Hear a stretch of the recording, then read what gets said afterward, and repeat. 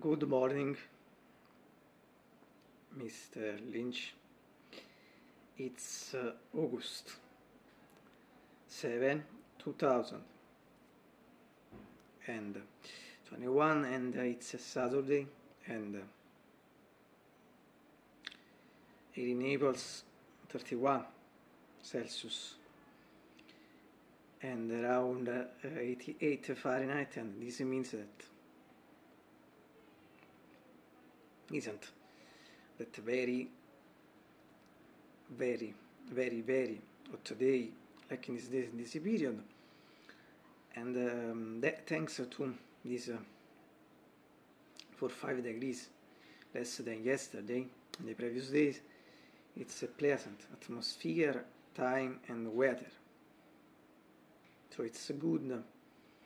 And obviously it's a total sunny day uh, today I was thinking nothing uh, particular or special uh, only to the fact that the hair are growing because on Monday it will be already one week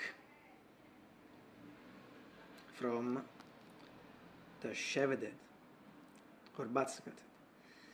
And so slowly the hair are growing. Anyway, as you can see from the mythical window with the colored curtains behind me, today we have those beautiful, beautiful blue skies and golden sunshine all along the way.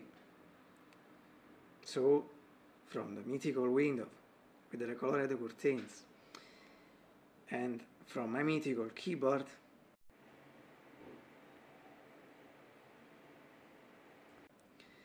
have a great day, him and everyone too.